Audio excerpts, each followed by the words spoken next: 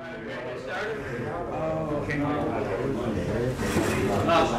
Thank you all for coming uh, to our, our uh, first, uh, we call it our artificial army. It's, it's intended to be uh, a couple seminar series that we have. We're going to do very few of them, but try to make them really high quality.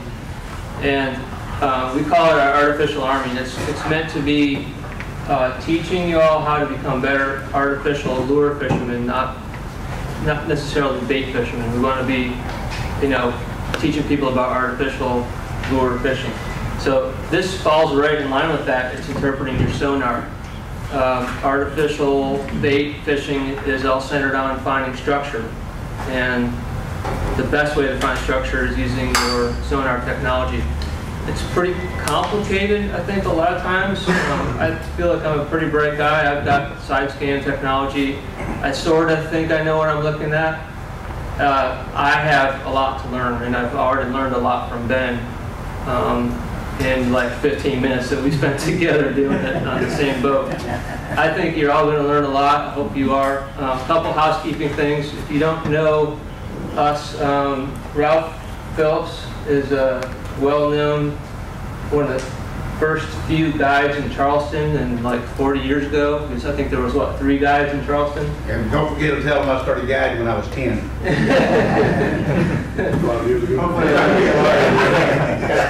We used to have megalodons in the water back Yeah, then. yeah. I'm over right there. Anyway, uh, about four years ago, we founded this company, Eye Strike Fishing, and it's based on the premise that predators strike the eye. All of our lures have oversized eyes, and um, probably most of you are familiar with them. Um, we do have a small shop here which is open, and we have a 10% discount on top of our usual discounts, which are pretty steep. Um, you're welcome to uh, to shop if you want or not. It's up to you. Uh, we've got two lovely assistants in there helping us out. Uh, my wife Lori and uh, Christina, who's our helper. If you ever if you ever ordered online from us, Christina's probably packed your order, and uh, you might want to go and say hello. And um, Key player. key player. We rely on Christina. She's awesome.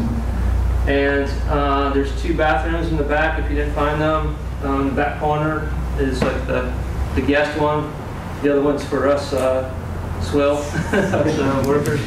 Um, and I think that's about it. Um, like I said, welcome you here. I want to introduce our speaker, Captain Ben Powers with Reel Time Charters.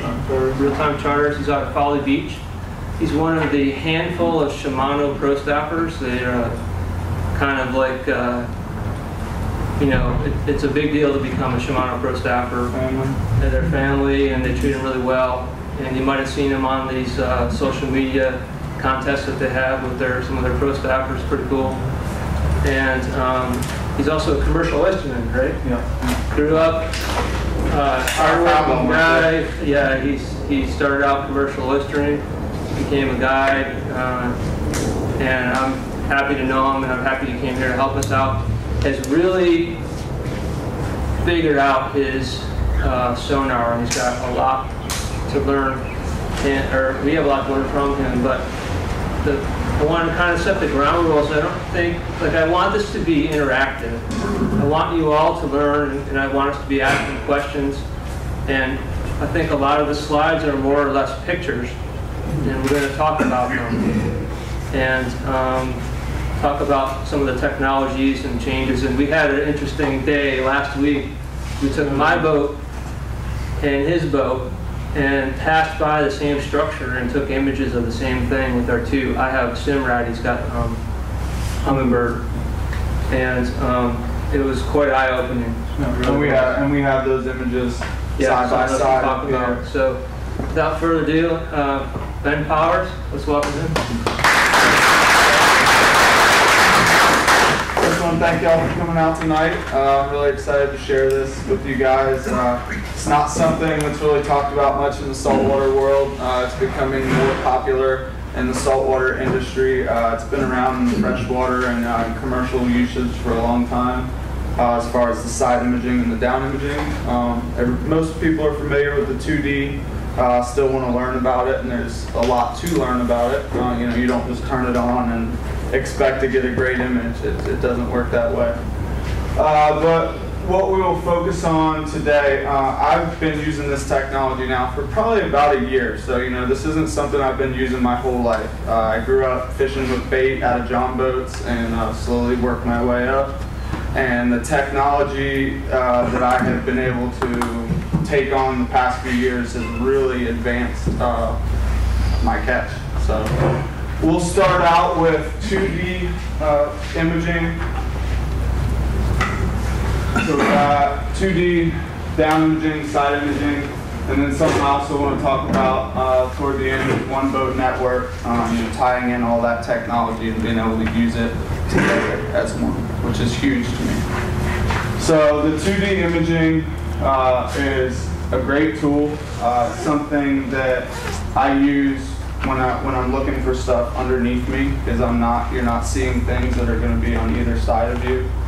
Uh, you can also, with the 2D imaging, there's a lot of fine tuning to be done within that. And this is just a basic picture that I took at one of our local reefs. I don't have a lot of screenshots of 2D because it's something that I've used my whole life. I never really thought that it was a huge deal. Uh, so I've got a lot more screenshots of the down imaging and the side imaging. But this shows uh, a great time on the boat here. So over here, we've got the 2D imaging on the right. Um, I've got my map over on the left, so these are different waypoints where I've found uh, either nice schools of fish or pieces of structure that were holding fish. Uh, as you can see, I'm in 41 feet of water, uh, and what I'm on here, these are sheep's head. So what you see over to the right, underneath, uh, you can see the fish kind of elevated up off the top there. Uh, those are the sheep's head coming up toward the fiddler crab. And uh, the fish underneath are going to be the sea bass. So the sheep's head are kind of taking over the sea bass. The sea bass tend to hang really tight to the bottom. Uh, the sheep's head will sometimes take over the sea bass and push them out. And so that's what you're seeing here is this fish coming up off the top. Uh, and then just under my mark there, my arrow key, you can see another fish up above. But one important thing with this image is that I have, as you can see on the right, I have the whole water column listed. And so one thing that you can do uh, on most newer units, and we talked about this at the jigging seminar uh, at Shimano, is that you can zoom in on, like if you're focusing on bottom fishing, you're not necessarily looking at that first, you know, 50% of the water column. You're focused on that bottom part of the water column, down deep, right along the bottom. So you can actually zoom in uh, on your screen to the bottom, you know, to the bottom 10 feet, and you get a much clearer image of what you're looking at. So like right here, it's zoomed way out. So I'm not seeing as much detail. But if you zoom way in and zoom in on, on that 30 to 41 foot, you can see the different sizes in the fish. And you'll see, you'll notice, you know, as you're catching fish, you say, okay, I'm catching sea bass. And then you look at your screen and you see those smaller marks on there, you know, and you're like, okay, those are sea bass. And you remember that. You, you remember that image. So next time you move to a spot and you're not looking for sea bass and you zoom in and you see those sea bass, you're like, nope, looking for a different mark. And so what I'll do is I'll zoom in on that bottom 25 to 30%, depending on what I'm fishing for, that bottom 25% of the water column. And that'll give me a clear image of what I'm looking at as far as the size of the fish. Because just like anything, when you zoom in, you can get a better idea of what you're looking at. so that's a, a, huge pointer there uh, on the 2D. Uh, another thing that a lot of folks don't realize that I just learned over the past year is that just like with the down imaging and the side imaging, there's fine tuning settings within your 2D. And so if you go to your menu settings, uh, you know, you've got different access points to your settings for, you know, each unit, whether it's Garmin or Simrad or Humminbird or Lowrance. But mine is over on the side. I have a key button that pulls up my menu options. And I can go to different settings for my 2D sonar. And I can change the sensitivity and I can change the contrast and different things like that. Now they're called different things on each unit. Uh, mine is called sensitivity, contrast, but you usually have two or three basic settings.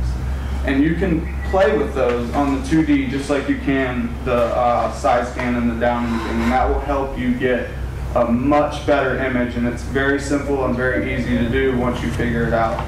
Uh, you can just pull up your manual and see how you access those settings uh, within your 2D, and you can go on and, vi- and visibly change those settings and so that you're manually seeing different pictures. So I, what I'll do on my unit, uh, each unit's different, but I'll pause it and I'll go on there and I'll change the settings and it'll actually change the current picture I'm looking at until I get what I'm looking for. And then I'll hit play and I'll get it rescanning again. And so make sure that, you know, just because it's too basic 2D imaging, and you're not getting the picture you're looking for, don't give up. You know, you can't just turn it on, like I said, and expect to get that image. Go into those settings and fine tune it, just like we will talk about later when we get to the side and the down imaging.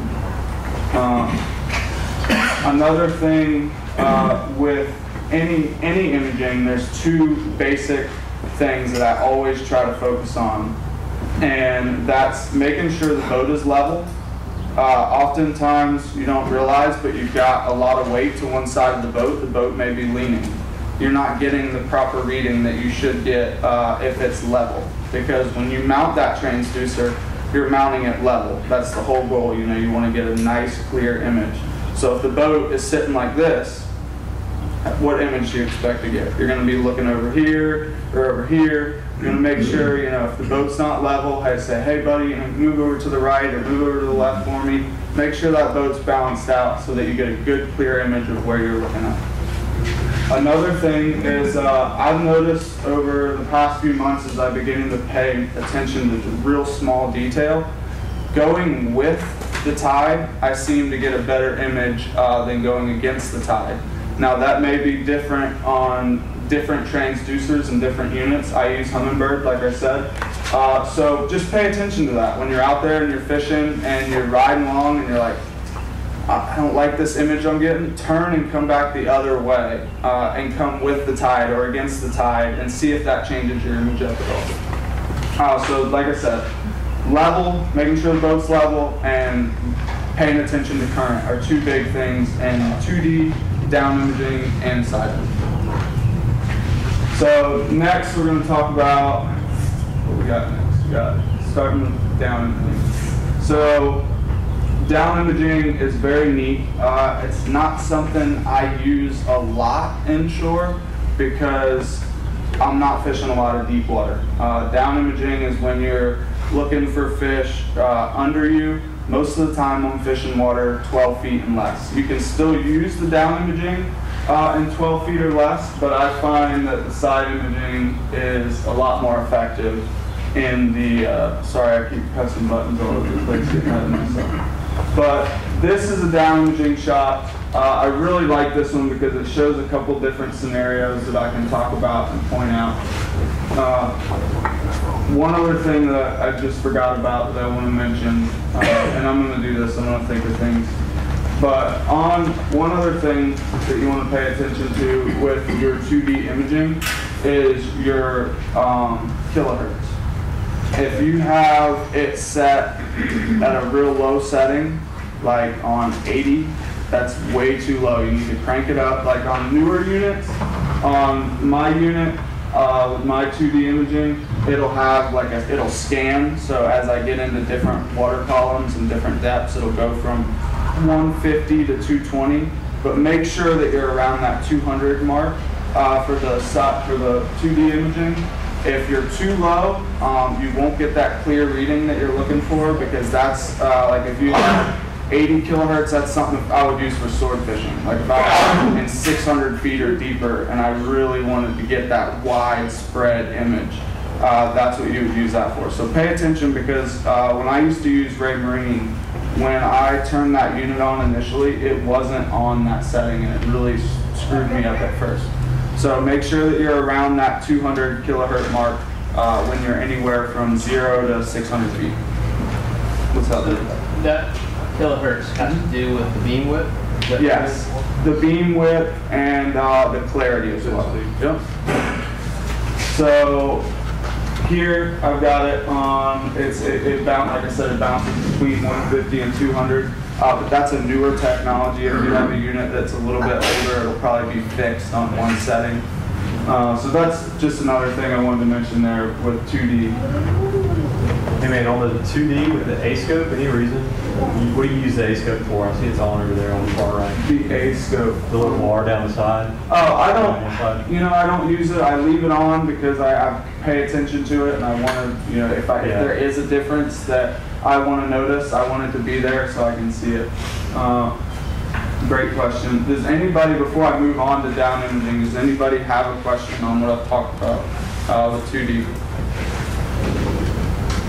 Pretty good. You said you like to do 200 hertz at roll foot and less or 500 foot and less? No, zero to anything that you're going to be fishing in uh, in a smaller vessel. Zero to 600 feet, uh, you want to make sure that you're anywhere between 150 and 200.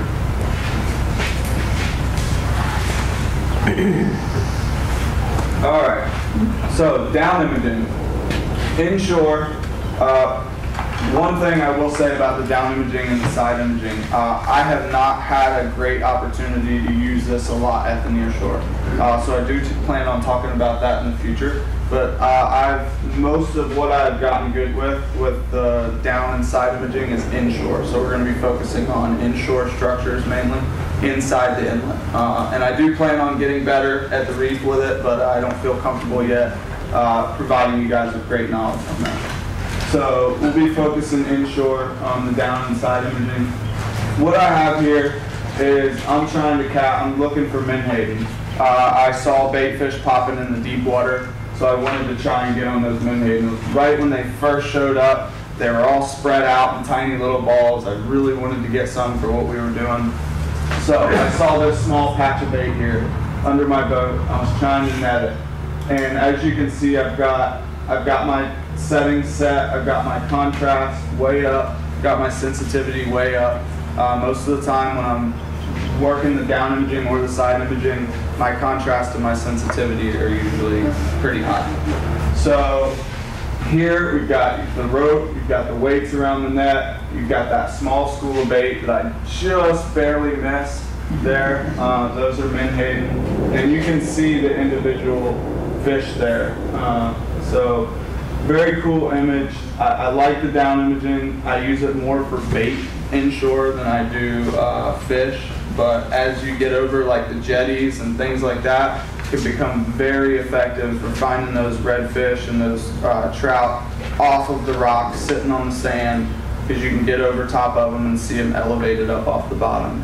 And so the nice thing about the down imaging is, as you can see, like if I pulled this up on my 2D, it would be a blur. There, you wouldn't see the space underneath that image. And with this, you can see the water column underneath my net very clearly. You can tell at the exact depth that object's at, and uh, it gives a very clear image.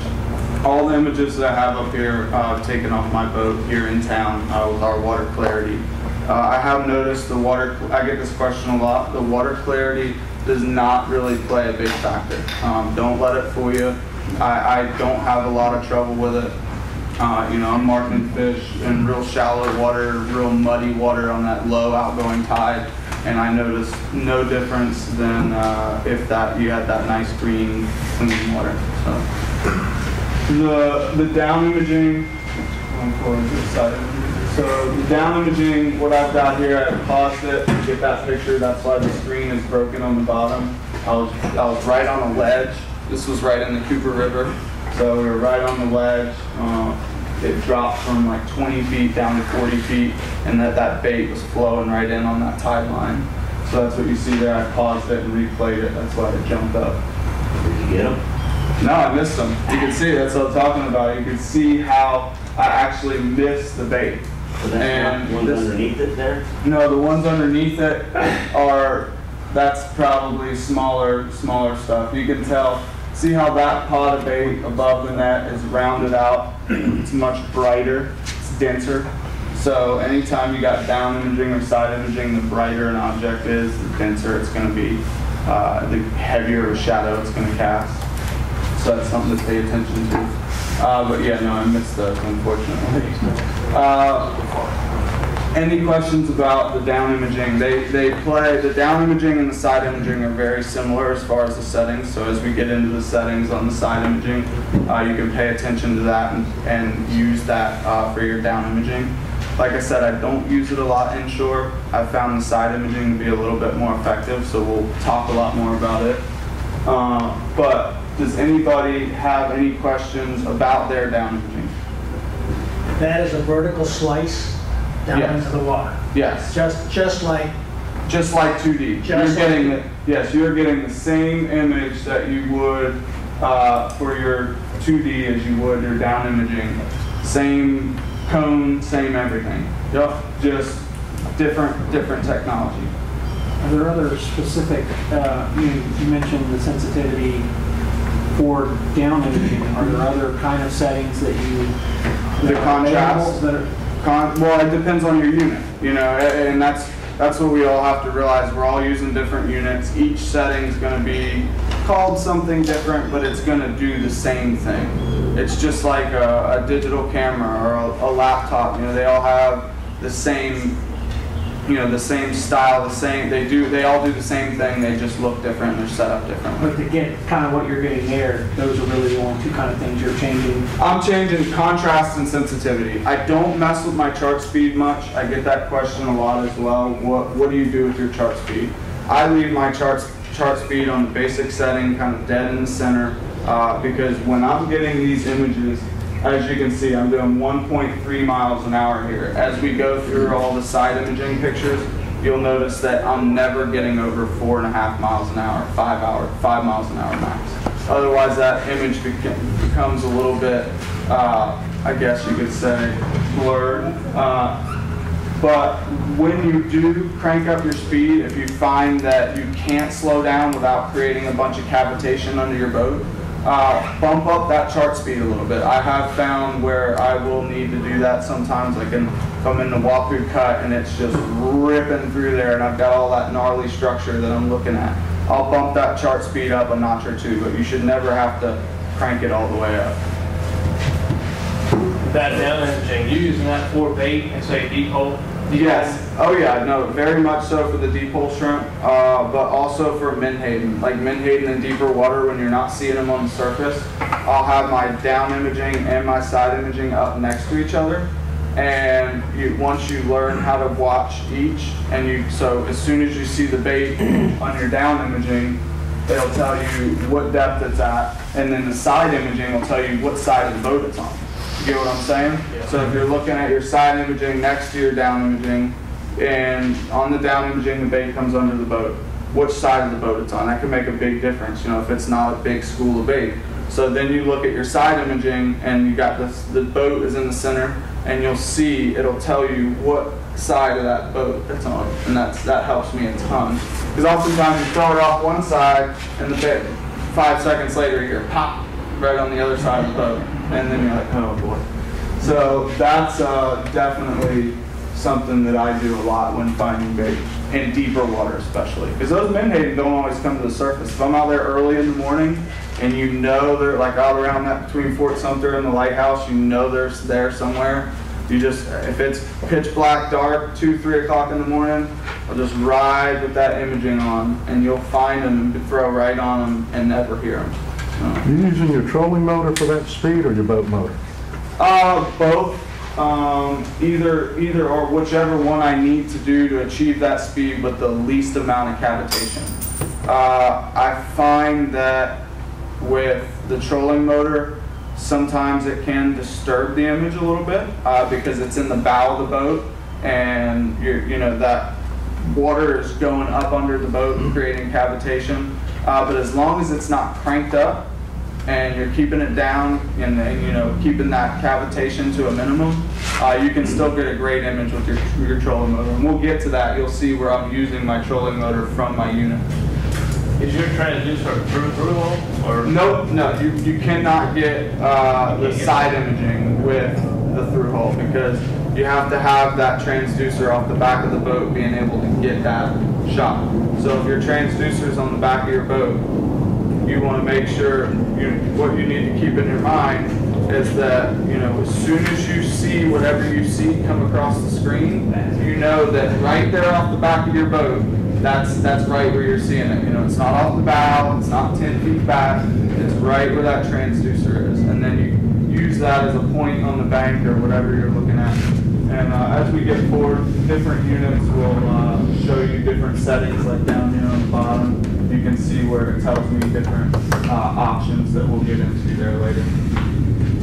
So, the side imaging, my secret weapon. Uh, this is something I've started to use over the past year, like I said, very heavily. Uh, I started actively finding big schools of fish uh, last, late last fall. Uh, once they all started to school back up, the reds were coming back into very large numbers. Uh, sometimes they get pushed down into that deeper water. But uh, even now with the water temperature up to, as you can see here, 80 degrees, and uh, the other day I was finding them in 10 feet of water in 84 degrees.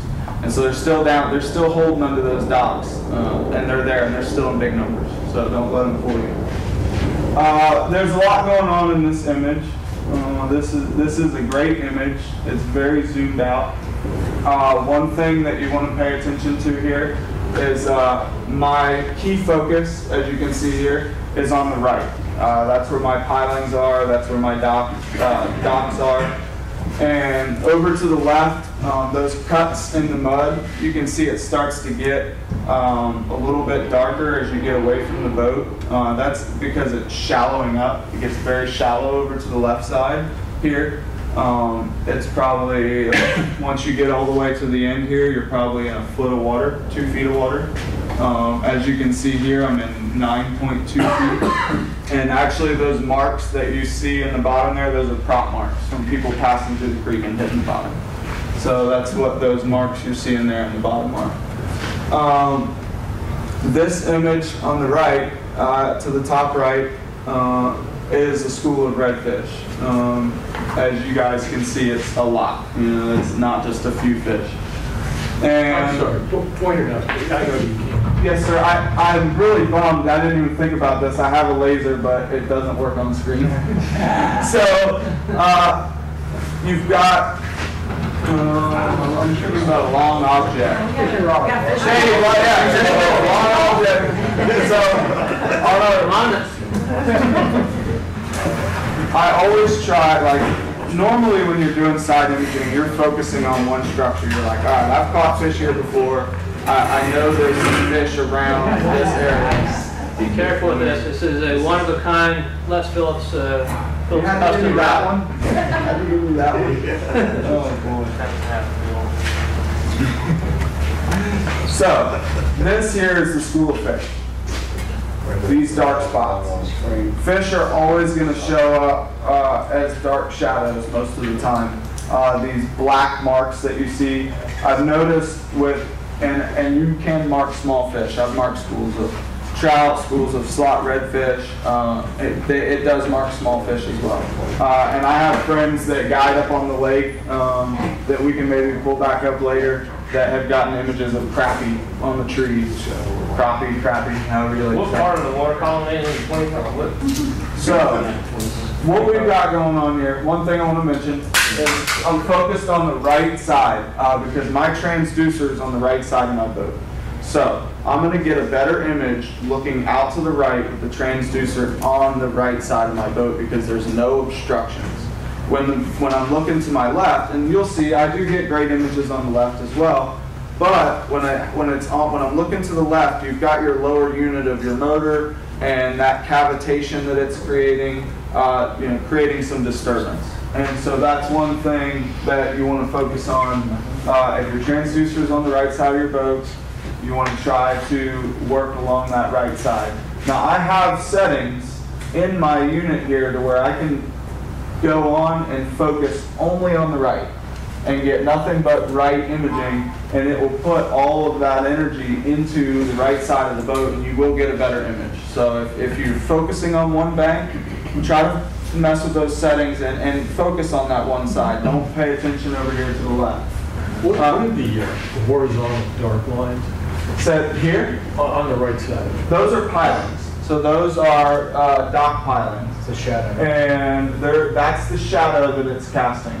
So when you have a side imaging picture, you're looking, you're like, what am I looking at? To me, when I look at this now, I just, I see it. So what you want to do is you want to stand on the bottom, right? Imagine yourself standing on the bottom of the tree, and you're in nine feet of water, and you took a flashlight and you shine that flashlight down the bottom of the river. And what's that flashlight going to do? It's going to cast shadows, right? So if you were standing on the bottom of the river, right here underneath your boat, and you casted, you shine that flashlight this way, you're marking objects and then therefore marking their shadows. And the shadows are what's going to give them away. So that's the best way uh, I can describe. Does that make sense to everybody? So these images that I'm getting, these are the shadows of the image. So what you're looking at is where you want to pay attention to is at the base of